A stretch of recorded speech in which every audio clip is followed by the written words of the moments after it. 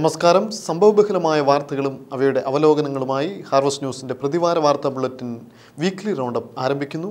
ആദ്യം പ്രധാന വാർത്തകളിലേക്ക്. പ്രതിരോധവും പ്രാർത്ഥനയുമായി കേരളം. നിപ്പ വൈറസ് മരണത്തിലേക്ക് ആനയിച്ചത് പന്ത്രണ്ട് വിലപ്പെട്ട ജീവനുകളെ. നിപ്പയെ പിടിച്ചുകെട്ടാൻ രാജ്യാന്തര തലത്തിൽ വരെ ശ്രദ്ധേയ നടപടികൾ. ക്യൂബൻ വിമാന ദുരന്തത്തിൽ രാജ്യത്തെ ക്രൈസ്തവ സഭയ്ക്ക് നഷ്ടമായത് ഇരുപത് പാസ്റ്റർമാരെ.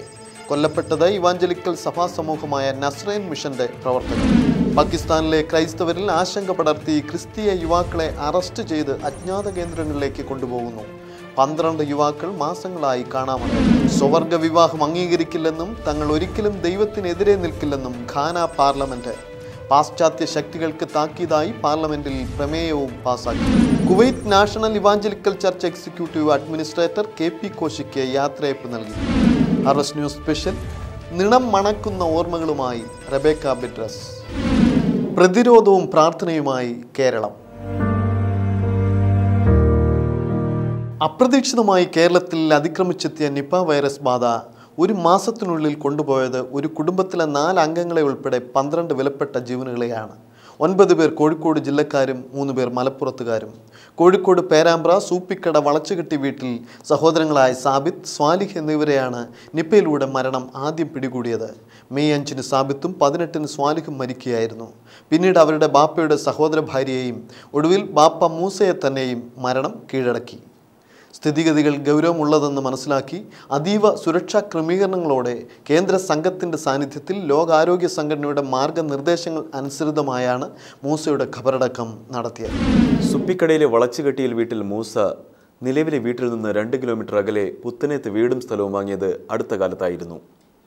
റബ്ബർ തോട്ടത്തിന് നടുവിലെ ആ വീട്ടിലേക്ക് താമസം മാറ്റുന്നതിന് മുന്നോടിയായി ശുചീകരണ പ്രവർത്തനങ്ങൾക്ക് ഇറങ്ങിയതായിരുന്നു മൂസയും ആൺമക്കളായ സാബിത്തും സാലിഹും.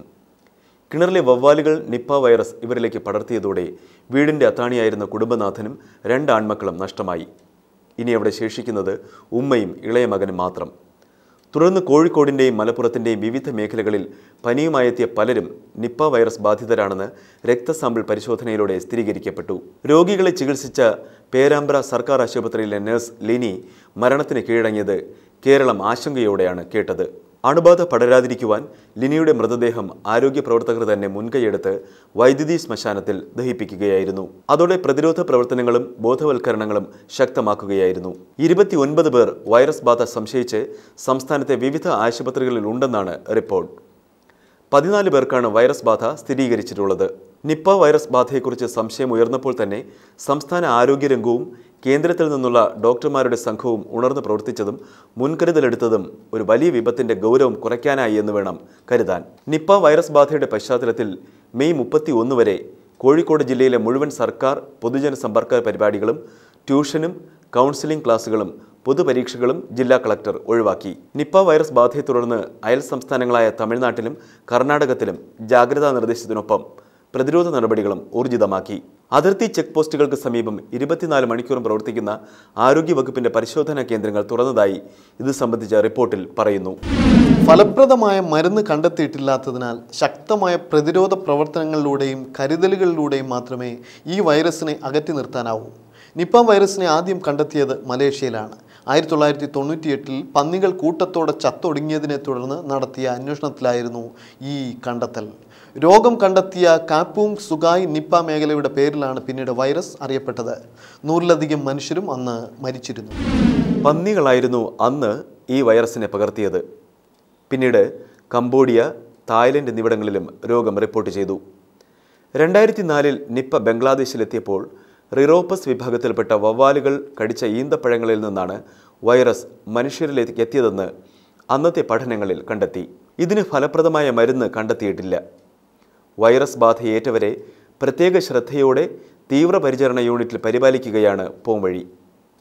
വൈറസ് ശരീരത്തിൽ കടന്നാൽ അഞ്ച് മുതൽ പതിനാല് ദിവസത്തിനുള്ളിൽ രോഗലക്ഷണങ്ങൾ കണ്ടു തുടങ്ങുമെന്നാണ് പഠനഫലം. പനി തലവേദന തലക്കറക്കം ബോധക്ഷയം ശ്വാസതടസ്സം ചുമ വയറുവേദന ഛർദി തുടങ്ങിയവയാണ് രോഗലക്ഷണങ്ങൾ. രക്തപരിശോധനയിലൂടെയാണ് സ്ഥിരീകരിക്കുന്നത്. മനുഷ്യരിൽ നിന്ന് മനുഷ്യരിലേക്ക് പകരുന്നതിനാൽ അണുബാധ നിയന്ത്രണ പ്രവർത്തനങ്ങളടക്കം രോഗപ്രതിരോധമാണ് ഏറ്റവും പ്രധാനം. കേരളത്തിൽ നിപ്പ വൈറസ് കണ്ടെത്തിയതിന് പിന്നാലെ ഇതിന് ഫലപ്രദമായ മറുമരുന്ന് കണ്ടെത്താൻ പകർച്ചവ്യാധി പ്രതിരോധത്തിനായുള്ള രാജ്യാന്തര സംഘടനയും രംഗത്ത് വന്നു. മൃഗങ്ങളിൽ പരീക്ഷിച്ച് വിജയിച്ച വാക്സിൻ മനുഷ്യർക്കും ഉപയോഗിക്കാൻ പര്യാപ്തമാക്കുന്നതിന് രണ്ട് അമേരിക്കൻ കമ്പനികൾക്ക് സി ഇ പി ഐ എന്ന സംഘടന നൂറ്റി എഴുപത് കോടി രൂപ അനുവദിച്ചിരിക്കുകയാണ് ഇപ്പോൾ. ബിൽ ഗേറ്റ്സ് ഫൗണ്ടേഷൻ അടക്കം വിവിധ സംഘടനകളും നോർവേ അടക്കം ചില രാജ്യങ്ങളും ഇതിന് പണമുടക്കുന്നു. സോഷ്യൽ മീഡിയ വഴി പ്രചരിപ്പിക്കപ്പെട്ട ഊഹാപോഹങ്ങളും തെറ്റായ നിർദ്ദേശങ്ങളുമൊക്കെ ജനങ്ങളിൽ പരിഭ്രാന്തി സൃഷ്ടിച്ചുവെങ്കിലും മുഖ്യധാര മാധ്യമങ്ങളിലൂടെയുള്ള ശക്തമായ ബോധവൽക്കരണ ശ്രമങ്ങൾ ഏറെക്കുറെ ഫലം കണ്ടു. എങ്കിലും നിപ്പയുടെ രോഗലക്ഷണങ്ങളുമായി ആശുപത്രിയിലെത്തുന്നവർ ഇപ്പോഴും നിരീക്ഷണത്തിലാണ്. ക്രിയാത്മകമായി നടത്തപ്പെടുന്ന ബോധവൽക്കരണവും വൈറസ് പടരാതിരിക്കാനുള്ള പ്രതിരോധ പ്രവർത്തനങ്ങളും മാത്രമാണ് ഈ പ്രതിസന്ധിയെ അതിജീവിക്കുവാനുള്ള ഏക പോംവഴി ബോധവൽക്കരണത്തിനും പ്രാർത്ഥനയ്ക്കും പ്രാധാന്യം നൽകിക്കൊണ്ട് മലബാർ മേഖലയിലെ ക്രിസ്തീയ സഭകളും നിപ്പയെ നേരിടാൻ സന്നദ്ധമായി. മെയ് ഇരുപത്തിയേഴിന് അതായത് ഇന്ന് മലബാർ മേഖലയിലെ ഐ സഭകൾ പ്രത്യേക പ്രാർത്ഥന നടത്തിയിരുന്നു. അതാത് മേഖലയിലെ ആരോഗ്യ പ്രവർത്തകരുമായി ബോധവൽക്കരണ പരിപാടികളിൽ സഹകരിക്കണമെന്നും മലബാർ മേഖലാ നേതൃത്വം ആഹ്വാനം ചെയ്തിരുന്നു. ഐ പി സി യുവജന സംഘടനയായ പി വൈ പി സംസ്ഥാന നേതൃത്വം പെന്തക്കോസ്ത് യൂത്ത് കൗൺസിൽ തുടങ്ങി ഇതര ക്രിസ്തീയ സംഘടനകളും പ്രാർത്ഥനയ്ക്കും ബോധവൽക്കരണ പരിപാടികൾക്കും മുന്നിട്ടിറങ്ങിയിരുന്നു. കനത്ത മഴയും പനിക്കിടക്കയും ഡെങ്കിയുമൊക്കെ ദുരിതം നിറയ്ക്കുന്നതിനൊപ്പം നിപ്പ എന്ന മാരക വൈറസിന്റെ കടന്നുകയറ്റവും കേരളത്തിന് ഏൽപ്പിച്ച ആഘാതം ചെറുതല്ല. എങ്കിലും ഏത് വിപത്തിലും സർവശക്തനായ ദൈവത്തിൽ അഭയം ചാരുന്ന കേരളത്തിലെ ആത്മീയ സമൂഹത്തിന് വളരെ ഗൗരവമുള്ള ഒരു പ്രാർത്ഥനാ വിഷയമായി നിപ്പ മുന്നിൽ നിൽക്കട്ടെ.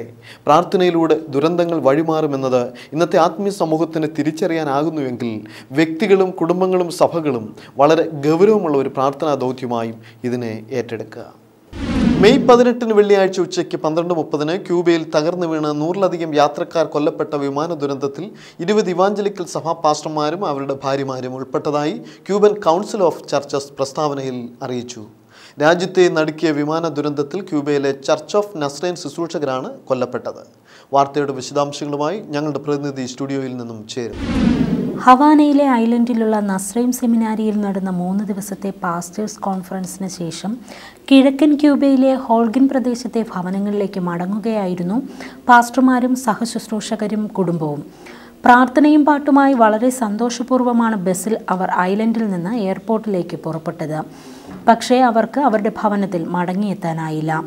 Cuba church of the Nazarene president Leonel Lopez മാധ്യമങ്ങളോട് പറഞ്ഞു. ചർച്ച് ഓഫ് നസ്രൈമിന്റെ ശുശ്രൂഷകരായിരുന്നു അവരെല്ലാം. പത്ത് ശുശ്രൂഷക കുടുംബങ്ങളും അവരുടെ പത്ത് സഹശുശ്രൂഷകരുമാണ് വിമാനത്തിലുണ്ടായിരുന്നത്. വിമാനം ഹവാനയിലെ ഹോസെ മാർത്തി വിമാനത്താവളത്തിൽ നിന്ന് പറന്നുയർന്നയുടൻ തൊട്ടടുത്ത കൃഷിയിടത്തിലേക്ക് കൂപ്പുകുത്തി വീണ് പൊട്ടിത്തെറിക്കുകയായിരുന്നു എന്നാണ് അന്വേഷണ റിപ്പോർട്ട്. മെക്സിക്കൻ കമ്പനിയായ ക്യൂബാന ഡി ഏവിയേഷന്റെ ബോയിംഗ് സെവൻ ത്രീ സെവൻ വിമാനമാണ് തകർന്നു വീണത്. നാൽപ്പത് വർഷത്തിലധികം പഴക്കമുള്ള എന്നേ ഒഴിവാക്കേണ്ടിയിരുന്ന വിമാനമാണ് തകർന്നു വീണതെന്ന ആരോപണവും ഉയരുന്നുണ്ട്. വിമാന അപകടത്തിൽ ആകെ മരിച്ചത് നൂറ്റിപ്പത്ത് പേരാണെന്ന് അധികൃതർ ഒടുവിൽ സ്ഥിരീകരിച്ചു. മൂന്ന് സ്ത്രീകളെ രക്ഷപ്പെടുത്തിയെങ്കിലും ഒരാൾ സംഭവ ദിവസം രാത്രി തന്നെ മരണത്തിന് കീഴടങ്ങുകയായിരുന്നു. കൊല്ലപ്പെട്ടവരിൽ അഞ്ചു പേർ വിദേശികളാണ്. രാജ്യത്ത് മൂന്ന് ദിവസത്തെ ദുഃഖാചരണം നടത്തി.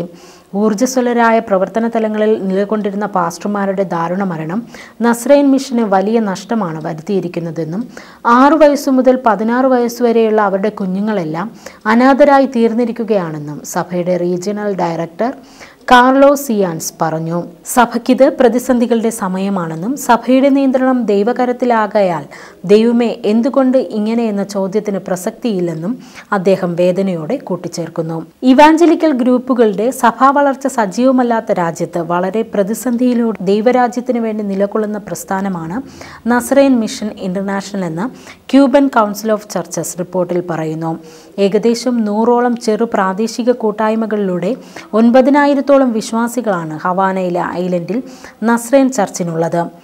സർക്കാരിന്റെയും ജനങ്ങളുടെയും വളരെ എതിർപ്പിനെ അതിജീവിച്ചാണ് സഭ രാജ്യത്ത് വളർന്നു വരുന്നത്. ഇപ്പോഴും ക്യൂബയിൽ അഞ്ച് ശതമാനം മാത്രമാണ് പ്രൊട്ടസ്റ്റന്റ് സമൂഹം. International desk harvest news. കാരണം കൂടാതെ പാകിസ്ഥാനിലെ ക്രിസ്തീയ യുവാക്കളെ പോലീസ് അറസ്റ്റ് ചെയ്ത് അജ്ഞാത തടങ്കലിൽ പാർപ്പിക്കുന്നതായും ഇത്തരത്തിൽ അറസ്റ്റ് ചെയ്യപ്പെട്ട ഇരുപത്തിനാല് യുവാക്കളെക്കുറിച്ച് കൃത്യമായ വിവരങ്ങൾ ഇപ്പോഴും ലഭ്യമല്ലെന്നും പാകിസ്ഥാനിൽ നിന്നുള്ള റിപ്പോർട്ട് പുറത്തുവരുന്നു. മാർച്ച് മുപ്പതിനാണ് ഇരുപത്തിനാല് ക്രിസ്തീയ യുവാക്കളെ പോലീസ് അറസ്റ്റ് ചെയ്തുകൊണ്ട് പോയത്. ഇവരെ പോലീസ് സ്റ്റേഷനിൽ എത്തിക്കാത്തതിനാൽ ബന്ധുക്കൾക്ക് വിവരമൊന്നും ലഭിച്ചിരുന്നില്ല. ഇവരെ കോടതിയിൽ ഹാജരാക്കുന്നതിനോ അറസ്റ്റ് ചെയ്യാത്തതിന്റെ കാരണം വ്യക്തമാക്കാനോ പോലീസ് തയ്യാറാകാതിരുന്നതിനെ തുടർന്ന് ചില സംഘടനകൾ പ്രതിഷേധവുമായി രംഗത്ത് വരികയും രാജ്യമൊട്ടാകെ വാർത്തയാവുകയും ചെയ്തതോടെ ഇവരിൽ പന്ത്രണ്ട് പേരെ കോടതിയിൽ ഹാജരാക്കി. ആയുധം കൈവശം വെച്ചു എന്ന കുറ്റത്തിനാണ് ഇവരെ അറസ്റ്റ് ചെയ്തതെന്നാണ് കോടതിയിൽ പോലീസ് നൽകിയിരിക്കുന്ന മൊഴി. ഒപ്പം പല മേഖലകളിൽ കലാപം ഉണ്ടാക്കാൻ ശ്രമിക്കുന്നതടക്കം നിരവധി കുറ്റങ്ങളും ഇവർക്കെതിരെ ആരോപിച്ചിട്ടുണ്ട്. ബാക്കിയുള്ള യുവാക്കളെക്കുറിച്ചും പൂർണമായ വിവരങ്ങൾ പോലീസ് പുറത്തുവിട്ടിട്ടില്ല. പോലീസ് രഹസ്യമാക്കി വെച്ച സംഭവം പുറത്തുവരികയും അന്തർദേശീയ മാധ്യമങ്ങൾ പോലും ഇത് പ്രസിദ്ധപ്പെടുത്തുകയും ചെയ്തതോടെ അറസ്റ്റ് വിവാദമായിരിക്കുകയാണ്. തന്മൂലം രാജ്യദ്രോഹ കുറ്റം ചുമത്തിയാണ് ഇവരെ കോടതിയിൽ ഹാജരാക്കിയിരിക്കുന്നത്. രാജ്യത്തിന്റെ വിവിധ മേഖലകളിൽ നിന്നായി ഓരോ മാസവും നിരവധി ക്രിസ്തീയ യുവാക്കളെ ഇത്തരത്തിൽ പോലീസ് അറസ്റ്റ് ചെയ്യുന്നുണ്ടെന്നാണ് ഇതോടനുബന്ധിച്ച് പുറത്തു വന്നിരിക്കുന്നത്. അറസ്റ്റ് ചെയ്താൽ ഇരുപത്തിനാല് മണിക്കൂറിനകം കോടതിയിൽ ഹാജരാക്കണമെന്നാണ് നിയമമെങ്കിലും പോലീസ് അത് പാലിക്കുന്നില്ലെന്ന് അറസ്റ്റിലായ ക്രിസ്തീയ യുവാവ് സ്മിത്ത് മൈക്കിളിന്റെ സഹോദരൻ മാധ്യമങ്ങളോട് പറഞ്ഞു. കാരണം കൂടാതെയുള്ള അറസ്റ്റ് ഭയന്ന് ക്രിസ്തീയ യുവാക്കൾ ഭവനങ്ങളിൽ പാർക്കുവാൻ ഭയപ്പെടുകയാണെന്നും പ്രാദേശിക മാധ്യമങ്ങളും രാജ്യത്തെ പ്രമുഖ മാധ്യമങ്ങൾ പോലും ഇത്തരത്തിലുള്ള വാർത്തകൾക്ക് വർഗീയ നിറം നൽകി മാറ്റിവെക്കുന്നത് നിർഭാഗ്യകരമാണെന്നും അദ്ദേഹം പറയുന്നു. രാജ്യത്തെ ക്രിസ്തീയ സമൂഹം പോലീസ് അധികാരികളിൽ നിന്ന് നേരിട്ട് കൊണ്ടിരിക്കുന്ന പീഡനങ്ങൾ നിരവധിയാണ്. രാജ്യത്തെ ക്രിസ്തീയ യുവാക്കൾക്ക് നേരെ മാത്രം നീളുന്ന ഇത്തരത്തിലുള്ള സംഭവങ്ങൾ പോലീസിന്റെ സഹായത്തോടെ മതമൗലികവാദികൾ നീക്കുന്ന നിഗൂഢ പദ്ധതികളുടെ ഭാഗമാണെന്നും ശക്തി സ്രോതസ്സായ യുവജനങ്ങളെ അടിച്ചമർത്തി രാജ്യത്തെ ക്രിസ്തീയ സാന്നിധ്യത്തെ ഉന്മൂലനം ചെയ്യാനുള്ള ശ്രമമാണ് രാജ്യത്തിന്റെ വിവിധ ഭാഗങ്ങളിലായി തുടർച്ചയായി നടന്നുവരുന്ന അറസ്റ്റെന്നും ക്രൈസ്തവർ സംശയിക്കുന്നു. ഇന്റർനാഷണൽ ഡെസ്ക് ഹാവസ് ന്യൂസ്. സ്വവർഗ വിവാഹത്തെ തള്ളിക്കളഞ്ഞുകൊണ്ടും ശക്തമായി വിമർശിച്ചുകൊണ്ടും പശ്ചിമ ആഫ്രിക്കൻ രാജ്യമായ ഘാനയിലെ പാർലമെന്റ് എടുത്ത തീരുമാനം ശ്രദ്ധേയമാകുന്നു. സ്വവർഗ ബന്ധങ്ങളെ പരിഗണിച്ചുകൊണ്ട് വിവാഹത്തിന്റെ നിയമപരമായ നിർവചനം തിരുത്തണമെന്ന നിർദ്ദേശമേറുന്ന സാഹചര്യത്തിൽ ഇക്കഴിഞ്ഞ ചൊവ്വാഴ്ച ഘാനയുടെ പാർലമെന്റ് വിഷയം ചർച്ചയ്ക്കെടുക്കുകയായിരുന്നു ശക്തമായ വാദപ്രതിവാദങ്ങളോടെയായിരുന്നു വിഷയം ഉടനീളം ചർച്ച ചെയ്യപ്പെട്ടത്. പാശ്ചാത്യ രാജ്യങ്ങളിൽ സ്വർഗ വിവാഹത്തിന്റെ സ്വാധീനമാണ് കൂടുതലും ചർച്ച ചെയ്യപ്പെട്ടത്. എന്നാൽ സ്വർഗ വിവാഹം പ്രചരിപ്പിക്കുന്ന വിദേശ ശക്തികളുടെ സ്വാധീനമാണ് ആശയത്തിന് പിന്നിലെന്ന് വിലയിരുത്തിയ പാർലമെന്റ് അംഗങ്ങൾ നിർദ്ദേശത്തെ നിശ്ചിതമായി വിമർശിക്കുകയും തള്ളിക്കളയുകയുമായിരുന്നു. വിഷയം ചർച്ച ചെയ്യപ്പെടുന്നതിനിടയിൽ വിശുദ്ധ ബൈബിളിന്റെ നിലപാടും സ്വർഗ വിവാഹ ജീവിതശൈലിയിലെ ആരോഗ്യ പ്രശ്നങ്ങളും തുടർച്ചയായി പരാമർശിക്കപ്പെട്ടു. ആഫ്രിക്കയ്ക്ക് സ്വന്തം സംസ്കാരമുണ്ടെന്നും മറ്റൊരു സംസ്കാരം പുറത്തുനിന്ന് കടമെടുക്കേണ്ട സാഹചര്യമില്ലെന്നും ഇത് തികച്ചും അധാർമികമായ ജീവിതശൈലിയാണെന്നും പാർലമെന്റ് അംഗം പെട്രീഷ്യ അപ്പിയാഗി തുറന്നടിച്ചു. ഒടുവിൽ രാജ്യത്തിന്റെയും നിയമനിർമ്മാണ സഭയുടെയും നിലപാട് പ്രഖ്യാപിക്കുവാൻ ഖാന പാർലമെന്റിൽ ഏറ്റവും കൂടുതൽ കാലം അംഗമായിരുന്ന അൽബാൻ ബാഗ്ബിനെ ക്ഷണിക്കുകയായിരുന്നു. ദൈവത്തിന്റെ മനുഷ്യ സൃഷ്ടിപ്പിന്റെ പിന്നിലെ ലക്ഷ്യമെന്തെന്ന് തങ്ങൾക്ക് അറിയാമെന്നും അതുകൊണ്ട് തന്നെ തങ്ങൾ ഒരിക്കലും ദൈവത്തിന് എതിര് നിൽക്കില്ലെന്നും ഊന്നി പറഞ്ഞുകൊണ്ടാണ് അദ്ദേഹം തുടങ്ങിയത്. സാംസ്കാരികമായി ഉന്നതിയിൽ നിൽക്കുന്നവരെന്ന് അവകാശപ്പെടുന്നവർ തെറ്റായ മാർഗനിർദ്ദേശങ്ങൾക്ക് ഖാന ഒരിക്കലും നിന്നു കൊടുക്കുകയില്ലെന്ന് അദ്ദേഹം ഉറച്ചു പ്രഖ്യാപിക്കുകയായിരുന്നു. കരഘോഷത്തോടെയാണ് ഖാന പാർലമെന്റ് അംഗങ്ങൾ ആ വാക്കുകൾ അംഗീകരിച്ചത്. പാശ്ചാത്യ ശക്തികൾ തങ്ങളുടെ സ്വവർഗസ്നേഹത്തിന്റെ അജണ്ട ആഫ്രിക്കയിൽ പ്രചരിപ്പിക്കുവാൻ ശ്രമിക്കുന്നതിനെ മതന്യൂനപക്ഷങ്ങളുടെ മുഖ്യവിപ്പായ മുഹമ്മദ് മുബാറക് മുണ്ടാക അപലപിക്കുകയും ചെയ്തു. സ്വവർഗ വിവാഹത്തെ അംഗീകരിക്കണമെന്ന് അടുത്തിടെ ബ്രിട്ടീഷ് പ്രധാനമന്ത്രി തെരേസ മേ ഖാനയുടെ പ്രസിഡന്റുമായി രഹസ്യ കൂടിക്കാഴ്ച നടത്തിയെന്ന ആക്ഷേപം രാജ്യത്ത് ഉയർന്നു വരുന്ന സാഹചര്യത്തിൽ പ്രസിഡന്റിനും പാശ്ചാത്യ ശക്തികൾക്കുമുള്ള താക്കീത് കൂടെയായി പാർലമെന്റ് അംഗങ്ങളുടെ ഈ ചർച്ചയും ഉറച്ച നിലപാട് അവതരണവും international desk harvest news Islamic state ഭീകര സംഘടനയെ പിടിതെറിഞ്ഞ ശേഷം ഇക്കഴിഞ്ഞ മെയ് പന്ത്രണ്ടിന് ഇറാഖിൽ നടന്ന പൊതു തെരഞ്ഞെടുപ്പിൽ രണ്ട് ക്രൈസ്തവ പ്രതിനിധികളും വിജയം വരിച്ചു.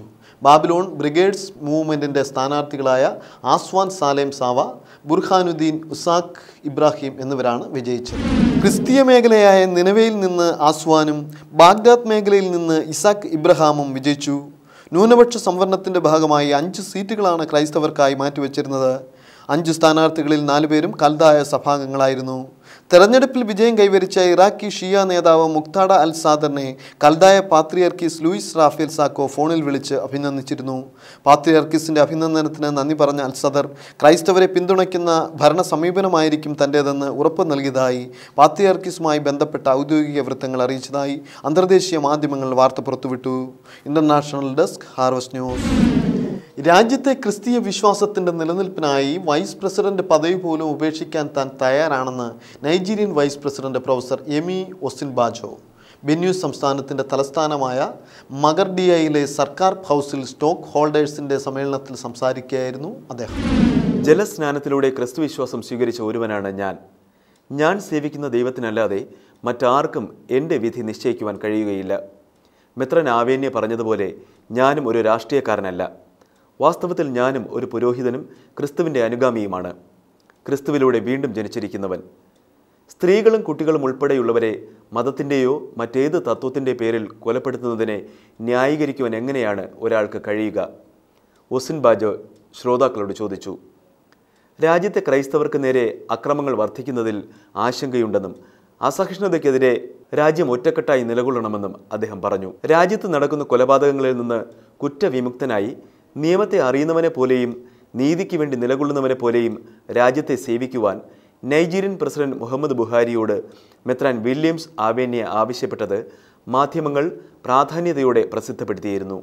രാജ്യത്തെ ക്രൈസ്തവർ തുടർച്ചയായി മതമൗലികവാദികളിലൂടെയും ഭീകരരിലൂടെയും കൊല ചെയ്യപ്പെട്ടിട്ടും അതിനെതിരെ നടപടികൾ എടുക്കാതെ ന്യായീകരിക്കുവാൻ ശ്രമിക്കുന്ന പ്രസിഡന്റിനോടുള്ള അതൃപ്തിയാണ് മെത്രാൻ ആവേനെ വെളിപ്പെടുത്തിയത്. അതിന്റെ തുടർച്ചയെന്നോണമാണ് ഉറച്ച ക്രിസ്തീയ വിശ്വാസിയായ വൈസ് പ്രസിഡന്റ് ഇങ്ങനെ പ്രതികരിക്കുകയും തന്റെ വിശ്വാസം പരസ്യമായി പ്രഖ്യാപിക്കുകയും ചെയ്തത്. പല ക്രിസ്തീയ കൂട്ടക്കൊലകളെയും പ്രസിഡന്റ് ന്യായീകരിക്കുവാൻ ശ്രമം നടത്തിയിരുന്നു. ഇതാണ് വൈസ് പ്രസിഡന്റിനെയും പ്രകോപിപ്പിച്ചത്.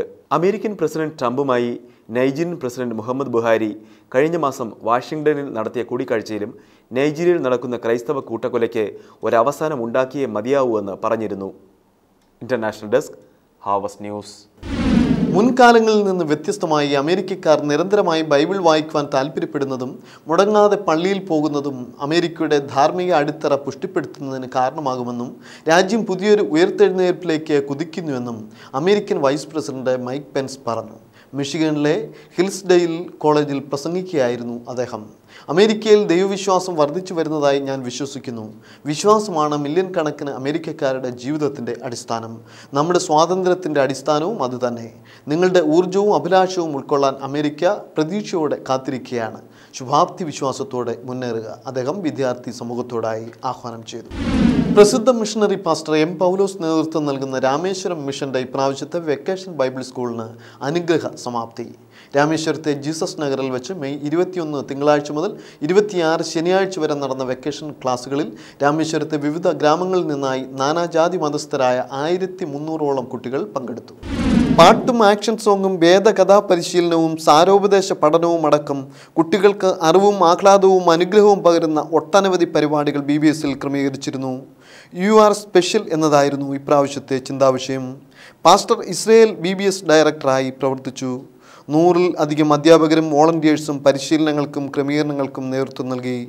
ഏറെ വർഷങ്ങളായി രാമേശ്വരത്ത് സംഘടിപ്പിക്കുന്ന ഈ വെക്കേഷൻ ബൈബിൾ സ്കൂൾ കുട്ടികളിൽ ബാല്യത്തിലെ തന്നെ സാൻമാർഗിക ബോധവും ദൈവാശ്രയം പകരുന്നതിന് സഹായകമായി തീരുന്നു. കഴിഞ്ഞ വർഷം രണ്ടായിരത്തോളം കുട്ടികൾ ബി ബി എസിൽ പങ്കെടുത്തിരുന്നു. ഹാർവസ്റ്റ് ന്യൂസ് തിരുവനന്തപുരം അറേബ്യൻ വാർത്തകൾ.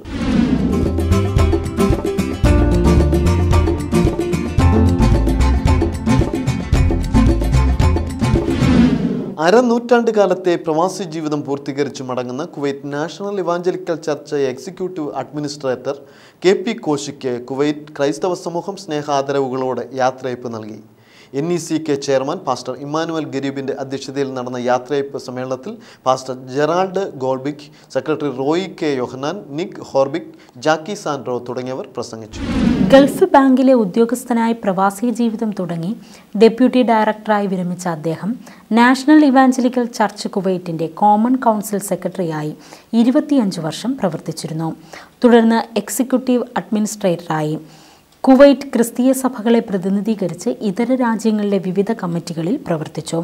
നൂറിൽ പരം രാജ്യങ്ങളിൽ നിന്നുള്ള എൺപത്തിരണ്ടിൽ പരം സഭാവിഭാഗങ്ങൾ ആരാധന നയിക്കുന്ന നാഷണൽ ഇവാഞ്ചലിക്കൽ ചർച്ചിന്റെ വളർച്ചയ്ക്ക് ഗണ്യമായ പങ്ക് വഹിച്ച കെ പി കോശി പത്തനംതിട്ട ജില്ലയിലെ കോഴഞ്ചേരി പുന്നക്കാട് സ്വദേശിയും സി എസ് ഐ സഭാംഗവുമാണ്. കുവൈറ്റ് ടൗൺ മലയാളി കോൺഗ്രിഗേഷന്റെ പ്രഥമ പ്രസിഡന്റായിരുന്നു. News desk harvest Arabia. സ്വദേശിവൽക്കരണത്തിന്റെ പേരിൽ കുവൈത്തിലെ പ്രധാന ജോലികളെല്ലാം സ്വദേശികൾക്ക് നൽകണമെന്ന വ്യവസ്ഥയെക്കുറിച്ച് ഇപ്പോൾ കുവൈത്ത് വീണ്ടും വിചാരത്തിനൊരുങ്ങുന്നതായി അവിടെ നിന്നുള്ള റിപ്പോർട്ടുകൾ സൂചിപ്പിക്കുന്നു. ആരോഗ്യ വിദ്യാഭ്യാസ മേഖലകളിൽ വിദേശികൾക്ക് പകരം സ്വദേശികളെ നിയമിക്കുന്നത് ദുഷ്കരമാണെന്ന് Kuwait civil service commission president Ahmed Al Jasar അഭിപ്രായപ്പെട്ടതായി റിപ്പോർട്ടുകൾ പുറത്തുവരുന്നു. ഈ മേഖലയിൽ യോഗ്യതയുള്ള സ്വദേശികൾ കുറവാണെന്നതും ഇത്തരം ജോലി മേഖലകളിൽ അവർക്ക് പ്രവൃത്തി പരിചയം ഇല്ല എന്നതുമാണ് കാരണമായി ചൂണ്ടിക്കാട്ടുന്നത്. കാലങ്ങളായി മലയാളികളടക്കം പ്രവാസികൾ നിർവഹിച്ചിരുന്ന രാജ്യത്തെ ഉത്തരവാദിത്തപ്പെട്ട പല ജോലികളും സ്വദേശി ഉദ്യോഗസ്ഥരുടെ പ്രവൃത്തി പരിചയം ഇല്ലായ്മ മൂലം തടസ്സപ്പെടുന്നതും പ്രവർത്തനങ്ങൾ ഇഴഞ്ഞു നീങ്ങുന്നതും സർക്കാരിന്റെ ശ്രദ്ധയിൽപ്പെട്ടിട്ടുണ്ട്. വിദ്യാഭ്യാസം പൂർത്തിയാക്കിയവർ അവരവരുടെ രാജ്യത്ത് തന്നെ തൊഴിൽ പരിശീലനം നേടിയിട്ട് ഇനി കുവൈറ്റിൽ എത്തിയാൽ മതിയെന്ന് മാൻപവർ അതോറിറ്റിയെ ഉദ്ധരിച്ച് പ്രാദേശിക പത്രത്തിന്റെ റിപ്പോർട്ട്. പ്രവാസികൾ വേണ്ടത്ര തൊഴിൽ പരിശീലനം സിദ്ധിക്കാതെ രാജ്യത്ത് പ്രവേശിക്കുന്നത് രാജ്യത്തിന് ബാധ്യതയാകുന്നു എന്ന കണ്ടെത്തലിനെ തുടർന്നാണ് പുതിയ തീരുമാനമെന്നാണ് വിശദീകരണം. യുവാക്കളായ പ്രവാസികൾ വേണ്ടത്ര തൊഴിൽ പരിശീലനം നേടാതെ രാജ്യത്ത് പ്രവേശിക്കുകയും തൊഴിലിടം തൊഴിൽ പരിശീലന കേന്ദ്രം പോലെ ഉപയോഗിക്കുന്നതും രാജ്യത്തിന് സാമ്പത്തിക ബാധ്യത ഉണ്ടാക്കുന്നു എന്ന കണ്ടെത്തലിനെ തുടർന്നാണ് ഇത്തരമൊരു തീരുമാനമെന്ന് റിപ്പോർട്ട് ചെയ്യപ്പെടുന്നു. വിദഗ്ധ തൊഴിലിനായുള്ള വിസ സംഘടിപ്പിച്ച് രാജ്യത്തെത്തുന്നവരിൽ പലർക്കും തൊഴിൽ വശമില്ല. അതുകൊണ്ട് ഇനി ബിരുദം അല്ലെങ്കിൽ ഡിപ്ലോമ യോഗ്യതയുള്ളവർക്ക് മുപ്പത് വയസ്സ് തികയാതെ കുവൈറ്റിലേക്ക് വിസ നൽകില്ലെന്നും ജൂലൈ ഒന്നിന് നിയമം പ്രാബല്യത്തിൽ വരുമെന്നും ഇത് സംബന്ധിച്ച് റിപ്പോർട്ടിൽ പറയുന്നു. എന്നാൽ വിദ്യാഭ്യാസ യോഗ്യതയ്ക്ക് മുൻഗണനയില്ലാത്ത ഡ്രൈവർ പോലുള്ള ജോലികളിൽ ഇളവുണ്ട്. ഇനി മുതൽ കാലാവധി തീരാൻ ആറ് മാസം ബാക്കിയുള്ളപ്പോൾ ഇക്കാമ പുതുക്കാം. നിലവിൽ മൂന്ന് മാസമുള്ളപ്പോൾ ഇക്കാമ പുതുക്കണമെന്നതായിരുന്നു വ്യവസ്ഥ. News desk harvest Arabia. ഇനി ഇന്നത്തെ സ്പെഷ്യൽ സ്റ്റോറിയിലേക്ക്. ബൊക്കോഹറം എന്ന കൊടും ഭീകരരുടെ തടവറയിൽ രണ്ട് വർഷം കഠിന പീഡനങ്ങളിലൂടെ കടന്നുപോയിട്ടും തന്റെ ദൈവവിശ്വാസം ത്യജിക്കാൻ തയ്യാറാകാതിരുന്ന റെബേക്ക ബിട്രസ് എന്ന നൈജീരിയൻ യുവതി ഇന്ന് ക്രിസ്തീയ ലോകത്തിനു മുന്നിൽ ജീവിക്കുന്ന രക്തസാക്ഷിയാണ്. രണ്ട് മാസങ്ങൾക്ക് മുൻപ് aid the church in need എന്ന രാജ്യാന്തര ക്രിസ്തീയ സന്നദ്ധ സംഘടന ലോകമെങ്ങും വർദ്ധിച്ചു വരുന്ന ക്രിസ്തീയ പീഡനത്തെക്കുറിച്ച് ആഗോള വ്യാപകമായി ബോധവൽക്കരണം നടത്തുന്നതിന്റെ ഭാഗമായി ജനശ്രദ്ധ ആകർഷിക്കുവാൻ റോമിലെ കൊളോസിയം എന്ന പുരാതന കൊലക്കളം ചുവപ്പ് വെളിച്ചത്താൽ പ്രകാശിപ്പിക്കുന്ന ചടങ്ങ് സംഘടിപ്പിച്ചിരുന്നു. ഈ ചടങ്ങിലേക്ക് ക്ഷണിക്കപ്പെട്ടതോടെയാണ് റെബേക്ക എന്ന ദുഃഖപുത്രിയുടെ കഥനകഥയും ദൈവത്തിങ്കിലുള്ള ദൃഢധൈര്യവും ലോകം ശ്രദ്ധിച്ചത്. കാണാം. നിണം മണക്കുന്ന ഓർമ്മകളുമായി റെബേക്ക ബിട്രസ്. നൈജീരിയയുടെ മെതിഗുരിയിലെ ഒരു ഗ്രാമീണ മേഖലയിൽ സന്തുഷ്ടമായ കുടുംബജീവിതം നയിച്ചു വന്ന ക്രിസ്തീയ വനിതയായിരുന്നു റബേക്ക ബിട്രസ്. ഭർത്താവും അഞ്ച് വയസ്സുകാരനായ സക്കറിയയും മൂന്ന് വയസ്സുകാരനായ ജോഷുവും അടങ്ങുന്ന സന്തുഷ്ട കുടുംബം ക്രിസ്തുവിലും അവിടുത്തെ പ്രത്യാശയിലും അടിയുറച്ച് വിശ്വസിച്ചിരുന്നു. ഇപ്രകാരം ജീവിച്ചു വരവേ രണ്ടായിരത്തി പതിനാലിലാണ് ബൊക്കോഹറം തീവ്രവാദികൾ ആ ഗ്രാമം വളഞ്ഞത്. അവർ റബേക്കയുടെ ഭവനത്തിലെത്തി ഭർത്താവിനെ ക്രൂരമായി ആക്രമിക്കുകയും ഭവനം അടിച്ചു തകർത്ത് തീയിടുകയും ചെയ്ത ശേഷം റബേക്കയെയും മക്കളെയും പിടിച്ചുകൊണ്ടുപോയി. ആ സമയത്ത് റബേക്ക മൂന്നാമതും ഗർഭിണിയായിരുന്നു. കൊടും വനത്തിലെ ക്യാമ്പിലാണ് അവരെ പാർപ്പിച്ചത്. നിർബന്ധിത ജോലിയുടെയും സമ്മർദ്ദങ്ങളുടെയും പീഡനങ്ങളുടെയും ഫലമായി ഉദരത്തിലെ കുഞ്ഞിനെ നഷ്ടമായി.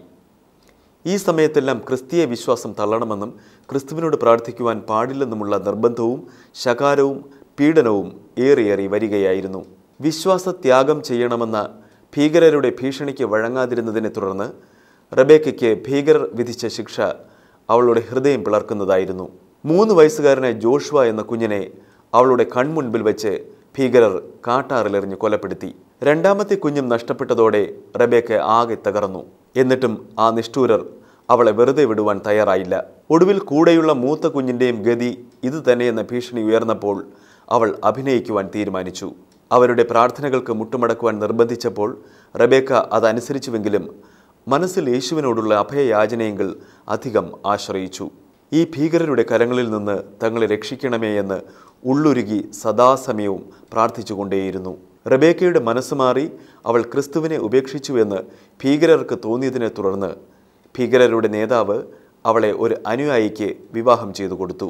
കടുത്ത പീഡനങ്ങളുടെ മധ്യത്തിൽ റബേക്കയ്ക്ക് ആ വിവാഹത്തിനും തലകുനിച്ചു കൊടുക്കേണ്ടി വന്നു. രണ്ടായിരത്തി പതിനഞ്ച് ഡിസംബറിൽ അവർ ഒരു കുഞ്ഞിന് ജന്മം നൽകി. ക്രിസ്റ്റഫർ എന്നാണ് അവൾ ആ കുട്ടിക്ക് പേരിട്ടത്. ഭീകരരുടെ തടവറയിൽ ഏകദേശം രണ്ട് വർഷം പിന്നിടും വേളയിലാണ് അതുവരെയും നിശബ്ദമായിരുന്ന കൊടുംകാട്ടിൽ മറ്റൊരു വെടിശബ്ദം ഉയർന്നത്. അത് ഭീകരരെ തുരത്താനുള്ള നൈജീരിയൻ പട്ടാളത്തിന്റെ വരവായിരുന്നു. അതോടെ ആയുധങ്ങളുമേന്തി ചിതറിയോടിയ ഭീകരർ വിവിധ ഭാഗങ്ങളിൽ നിലയുറപ്പിച്ച് പട്ടാളത്തെ തുരത്താനുള്ള ശ്രമമായി. ഈ തക്കത്തിന് റബേക്ക തന്റെ കൈക്കുഞ്ഞിനെയും എടുത്ത് മൂത്ത മകനെയും കൂട്ടി കാട്ടിലേക്ക് ഓടി. ഏറെ ദൂരം നിർത്താതെ ഓടിയിട്ടും രക്ഷപ്പെടാനുള്ള മാർഗമൊന്നും കണ്ടെത്തിയില്ല. നോക്കത്താ ദൂരത്തോളം പരന്നു കിടക്കുന്ന കൊടുംവനത്തിൽ എങ്ങോട്ട് പോകണം എന്ത് ചെയ്യണം എന്നൊരു നിശ്ചയവും റബേക്കയ്ക്ക് ഉണ്ടായിരുന്നില്ല. കാട്ടരുവിൽ നിന്ന് വെള്ളം കുടിച്ചും കാട്ടുകനികൾ ഭക്ഷിച്ചും കുറേ ദിവസങ്ങളോളം അവർ അലഞ്ഞു നടന്നു. ആറ് മാസത്തോളം പ്രായമുള്ള ക്രിസ്റ്റഫറിന്റെ സ്ഥിതി അതീവ ദയനീയമായി തീർന്നു. ഒടുവിൽ ആ അലച്ചിൽ അവസാനിച്ചത് ഭീകരരെ തിരഞ്ഞു നടക്കുന്ന പട്ടാളക്കാരുടെ മുന്നിലായിരുന്നു. വാടിത്തളർന്ന വിരൂപമായ ഈ അമ്മയും കുഞ്ഞുങ്ങളും ബൊക്കോഹറം തീവ്രവാദി സംഘത്തിന്റെ ചാവേറുകളെന്നാണ് ആദ്യം പട്ടാളം തെറ്റിദ്ധരിച്ചത്. അതുകൊണ്ട് തന്നെ അത്ഭുതകരമായാണ് അവരുടെ തോക്കിൻ മുനയിൽ നിന്ന് അവൾ രക്ഷപ്പെട്ടതും. അവിടെയും അവൾക്ക് കൂട്ടായത് അറിയാവുന്ന പ്രാർത്ഥനാ വാചകങ്ങളാണ്. തനിക്കറിയാവുന്ന ക്രിസ്തീയ പ്രാർത്ഥനാ വാചകങ്ങളെല്ലാം അവൾ പട്ടാളക്കാരെ ചൊല്ലിക്കേൾപ്പിച്ചു. അതോടെ അവർ റബേക്കയെ വിശ്വസിക്കുകയും ഒട്ടും താമസിയാതെ പുറം ലോകത്ത് അവളുടെ ഗ്രാമത്തിലെത്തിക്കുകയും ചെയ്തു. മെതിഗുരിയിലെ സ്വന്തം ഗ്രാമത്തിലെത്തിയപ്പോൾ അവളെ വരവേറ്റത് കൊല്ലപ്പെട്ടു എന്ന് കരുതിയ ഭർത്താവ് തന്നെയായിരുന്നു. അതൊരു അവിശ്വസനീയമായ കൂടിച്ചേരലായിരുന്നു. ജീവിതത്തിൽ ഒരിക്കലും ഇനി കാണാൻ കഴിയില്ല എന്ന ചിന്തയിലായിരുന്നു ഇരുവരും. വീണ്ടും ഭർത്തൃസ്നേഹത്തിന്റെ കരുതലിൽ ജീവിതം ഓടിത്തുടങ്ങിയപ്പോൾ പീഡനങ്ങളുടെ ഓർമ്മപ്പെടുത്തലായി ഭീകരരുടെ ക്യാമ്പിൽ പിറന്ന ക്രിസ്റ്റഫർ മാറി. ഭീകരരുടെ നിഷ്ഠൂരതയിൽ തന്റെ പ്രിയപ്പെട്ട മകൻ ജുവാഷ്വ പിടഞ്ഞു മരിച്ചതും റബേക്കയുടെ നെഞ്ചിലെ നെരിപ്പോടായി. അവൾക്ക് ഭീകരന്റെ മകനായ ക്രിസ്റ്റഫറിനെ സ്നേഹിക്കുവാൻ കഴിയാതെയായി. ഭീകരരോടുള്ള അതികഠിനമായ വെറുപ്പ് മൂലം ആ കുട്ടിയെ ഉപേക്ഷിക്കണമെന്ന ചിന്ത തന്നെ ഭരിക്കുവാൻ തുടങ്ങി. ഈ സമയം റബേക്കയുടെ പള്ളിക്കാർ മുഖേന വിവരമറിഞ്ഞ Maiduguri bishop Oliver Dashe Doeme ആ കുടുംബത്തെ തേടിയെത്തി. ആ കുഞ്ഞിനെ നീ സ്വീകരിക്കുകയും സ്നേഹിക്കുകയും വേണമെന്നും ഒരിക്കൽ അവൻ വലിയവനായി തീരുകയും അവൻ നിന്റെ കണ്ണീരൊപ്പുകയും ചെയ്യുമെന്നും അവന് വേണ്ട എല്ലാ കാര്യങ്ങളും താൻ ചെയ്തു കൊടുത്തുകൊള്ളാമെന്നും ബിഷപ്പ് പറഞ്ഞു. കുരിശിൽ കിടന്നുകൊണ്ട് തന്നെ ക്രൂശിച്ചവർക്ക് വേണ്ടി പ്രാർത്ഥിക്കുന്ന യേശുവിന്റെ കാഴ്ചപ്പാട് അദ്ദേഹം അവളിൽ പകർന്നു.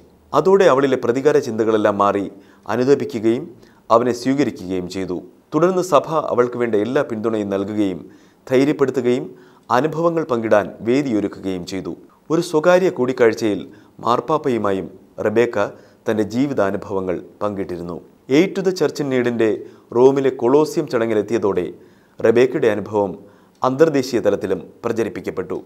പല അന്തർദേശീയ മാധ്യമങ്ങളും റബേക്കയെ ഇന്റർവ്യൂ ചെയ്തിരുന്നു. ഇതൊരു കഥയല്ല ജീവിത യാഥാർത്ഥ്യമാണ്. ഈ സ്പെഷ്യൽ ലൈഫ് സ്റ്റോറിയിലൂടെ റബേക്കയെ ഞങ്ങൾ അവതരിപ്പിക്കുമ്പോഴും ലക്ഷ്യം ഒന്ന് മാത്രമേ ഉള്ളൂ ഏത് പ്രതിസന്ധിയിലും ദൈവാശ്രയം കൈവിടാതിരിക്കുക എന്ന സന്ദേശം കൈമാറുക.